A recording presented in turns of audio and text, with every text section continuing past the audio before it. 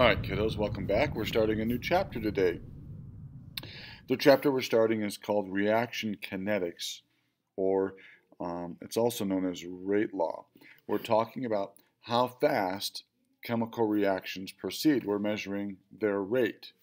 Now, we're going to begin by talking about something called the collision theory. And the collision theory basically is what it says it is. In order for two molecules or two atoms to react, they must bump into each other. They must collide with each other. So if I expect molecule A2 to react with molecule B2, they have to collide. And when they do, we expect two molecules of AB to be formed. Now, that seems pretty cut and dried, right? All molecules need to do is bump into each other and they'll react. In reality, it's much more complicated than that. Most collisions fail to produce products. So you might ask yourself why. Well, let's take a look at the illustration below. Um, this molecule here is carbon monoxide. This molecule here is nitrogen dioxide. Now in order for a molecule of carbon monoxide to react with a molecule of nitrogen dioxide, they have to collide with each other. However, they need to collide with, with each other in a certain orientation and with enough energy to overcome the repulsive forces that each molecule's electrons are forcing upon the other molecule. So I'll say that again. They need to co collide with each other in the proper orientation and with enough kinetic energy. When that happens, we have something called an effective collision. So in this case, um, the carbon atom in CO must contact the oxygen atom in NO2. Did you catch that? The carbon atom. Now, the carbon atoms are these guys that are these um, sort of navy blue type of spheres. And the oxygens are these um, red spheres here. So you can see in um, the A part of my illustration, I have an oxygen from carbon monoxide bumping into an oxygen from nitrogen dioxide. That's considered to be an ineffective collision because they're not orientated properly, so these guys will just bounce off of each other and they will not react. Now let's take a look at the second scenario. Here we have the oxygen in carbon monoxide colliding with the nitrogen in nitrogen dioxide.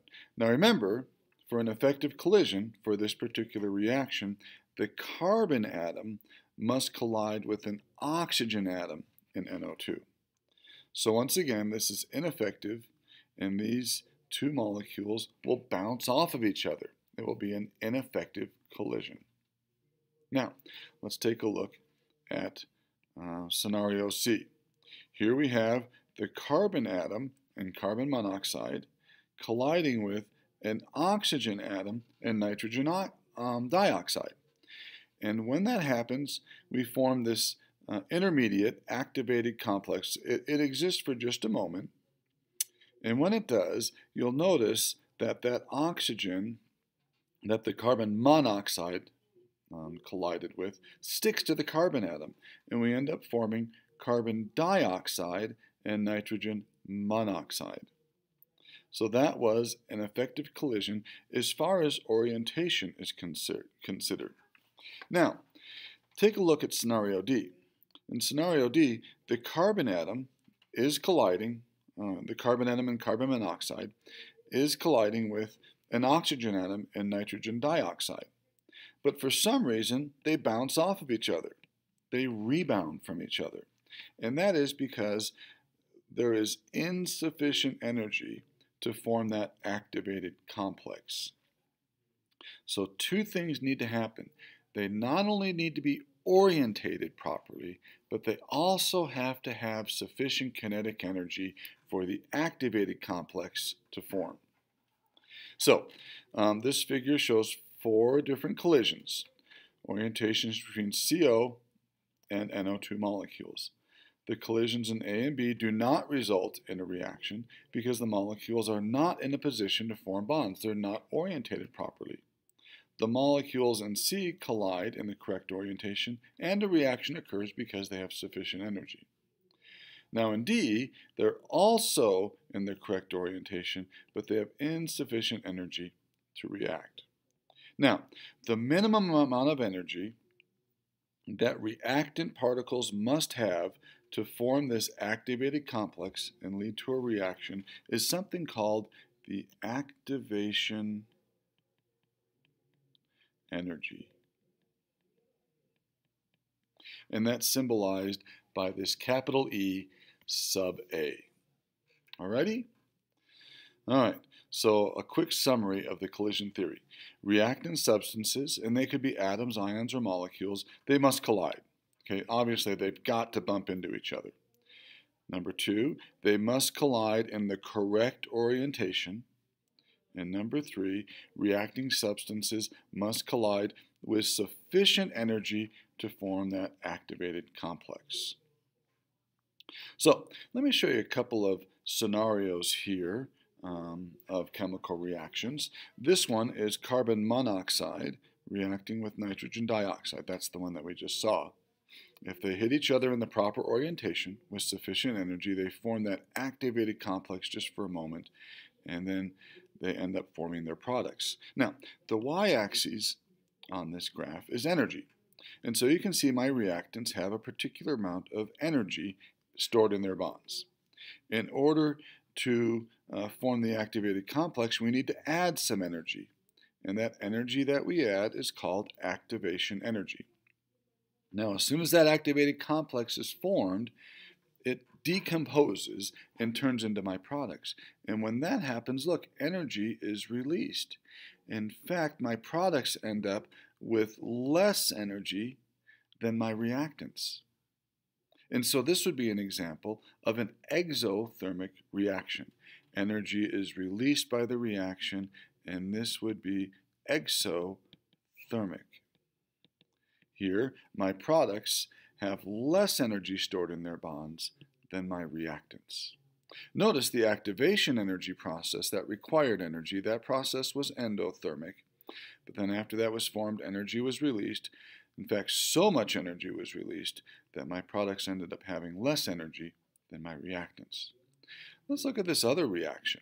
Let's take carbon dioxide reacting with nitrogen monoxide. So it's actually the reverse of the reaction that we just saw.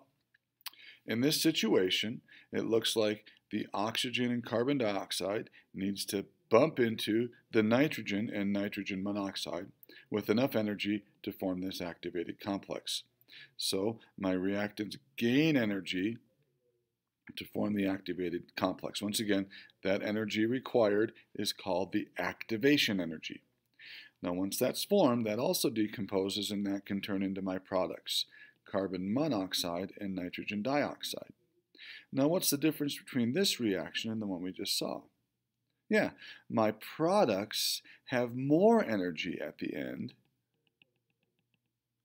than my reactant started with. So we call these types of reactions, if you recall, endothermic. They require energy. So here, energy would be absorbed by the reaction.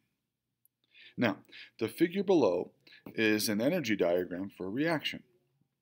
I want you to take a minute and match the appropriate number with the quantity it represents. So down here you'll see the numbers 1, 2, 3, and 4, and I want you to match those numbers up with these vocabulary terms listed underneath example 1. So take a minute, pause the video, try to do that without my help. Then come back to the video and we'll see how you did. All right, welcome back. So let's see, the reactants. Which number represents the reactants? Yeah, if you said number 2 represents my reactants, you are correct and this represents the energy that the reactants possess um, before the chemical reaction begins. All right, letter B, which represents the activated complex. Yeah, if you said number three, you are also correct. That is that intermediate um, activated complex that's formed just before it decomposes and turns into my products. And that takes us to letter C, which represents our products. And if you said number four, you are also correct. And finally, the activation energy is the energy required to form the activated complex from my reactants. So number one would be the activation energy of that reaction. Now let me ask you another question before we leave this graph. Is this uh, reaction an example of an exothermic reaction or an endothermic reaction? What do you think? Yeah, if you said endothermic, you were correct. Take a look. My reactants have a certain amount of energy, and my products have more energy, don't they? We had to gain energy in the reaction. So this would be an example of an endothermic reaction. Okay? All right, now, when we come back for the next video, we're going to list several factors that can determine the rate of a chemical reaction. We'll see you soon. Bye-bye.